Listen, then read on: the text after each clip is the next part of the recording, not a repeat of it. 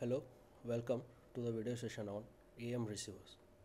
Myself, SN Chamatagoudar, working as Assistant Professor in Electronics and Communication Engineering, Walchand Institute of Technology, Solapur. In this video session, we are going to study about the envelope detector and TRF receivers. This is the learning outcome. At the end of this session, students will be able to describe the envelope detector and TRF receiver. Pause the video for some time and recall which are the types of AM generation techniques. I hope you have recalled the types of AM generation techniques here. Now let us proceed with the video session.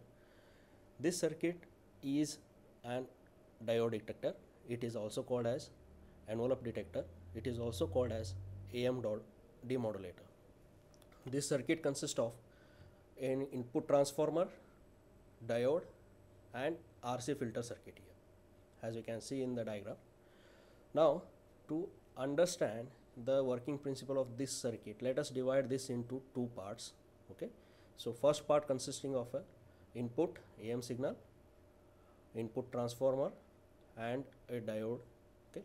In the second part let us consider this rc filter circuit here okay so am signal is given to the primary winding of the input transformer and uh, due to the variation in the current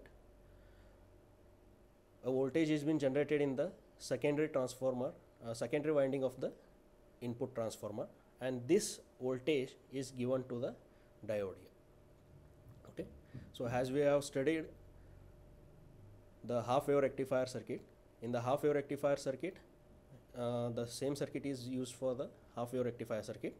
Here the diode is connected in such a way that the diode conducts current during the positive half cycle and do not conduct current in the reverse bias condition okay? So in this circuit also the diode conducts during the forward bias and do not conduct during the reverse bias okay? So here as i said uh, we will divide the circuit into two parts. Okay? First part is the rectifier part and second part is the envelope detector part. Okay? Envelope detector in the sense it is a rc filter circuit. Okay? So am wave is given as an input to the rectifier circuit and half uh, cycle we will get at the output end and this signal is given as an input to the envelope detector and we will get the envelope of the input signal here okay? So in the signal we can see that there are two envelopes. One is the upper and second one is the lower okay? Here it consisting of a high frequency carrier signal here okay? Now as i said as i said in this in this circuit the diode conducts during the forward bias that is during positive half cycle of the am signal and diode is reverse bias during the negative half cycle during which the diode will not conduct. Okay? So here in this diagram we can see the carrier signal which is having both positive cycle as well as the negative cycle. Okay? So when the carrier signal is positive going during that time diode conducts and it is passed through the diode and this waveform comes at the output terminal of the rectifier circuit okay? So during the negative half cycle the diode is reverse biased hence that negative cycle does not appear on the waveform at the output terminal of the rectifier circuit here okay? So here only positive cycles are passed through the rectifier circuit and it appears across the output terminal okay once we get the half waveform at the output terminal of the rectifier circuit this signal is given to as an input to the envelope detector. Envelope detector detects the envelope present on the high frequency signal. We will see in detail in the next slide. Here you can see there are current pulses which are only positive cycle okay? Here negative cycle is not present in this waveform okay?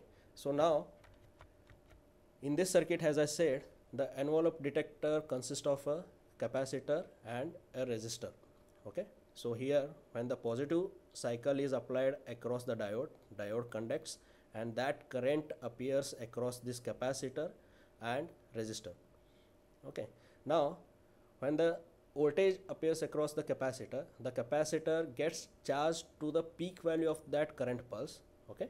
As well as that voltage also appears across the resistor here okay?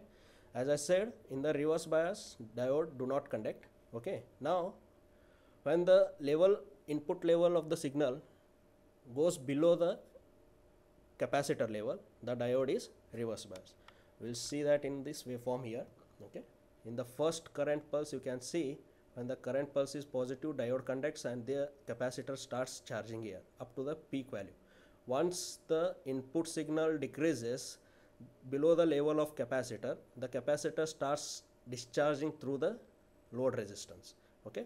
This process continues till the next positive cycle. Again when the input signal increases the more than the capacitor level again capacitor starts charging up to the peak value. When the input uh, level decreases below the capacitor value it starts discharging here.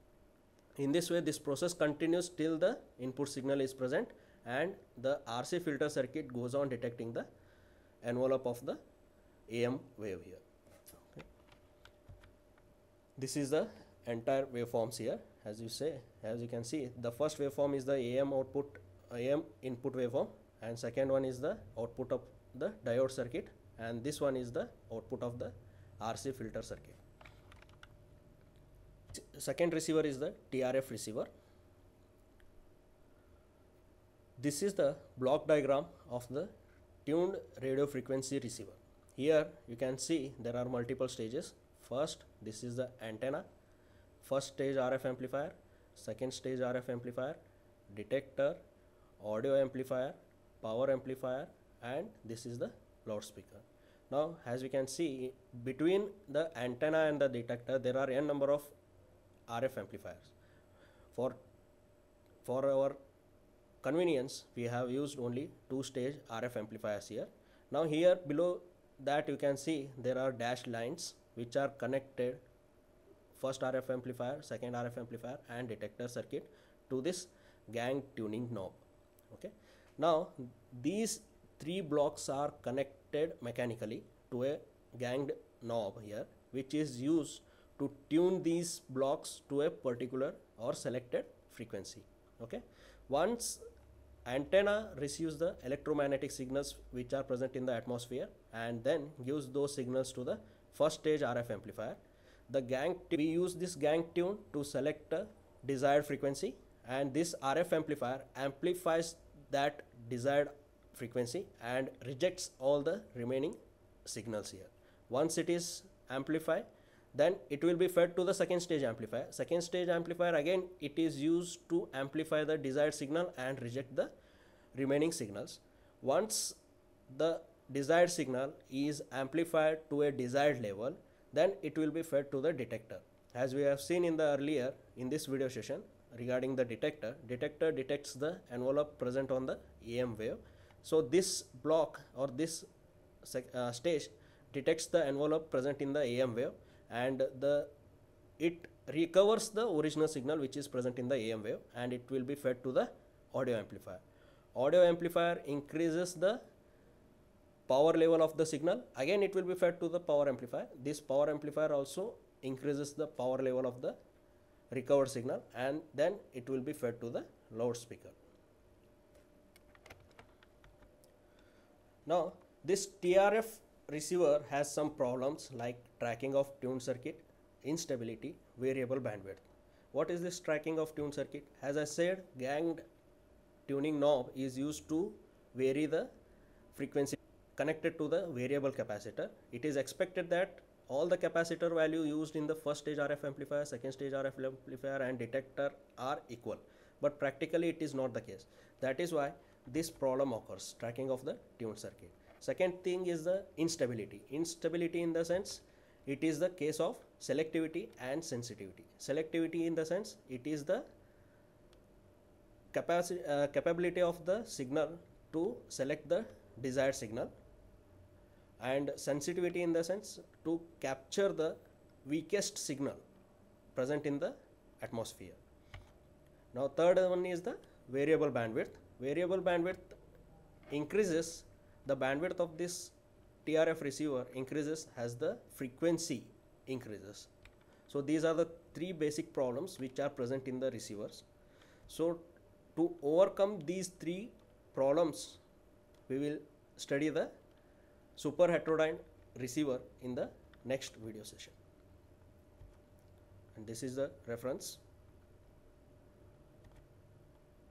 Thank you.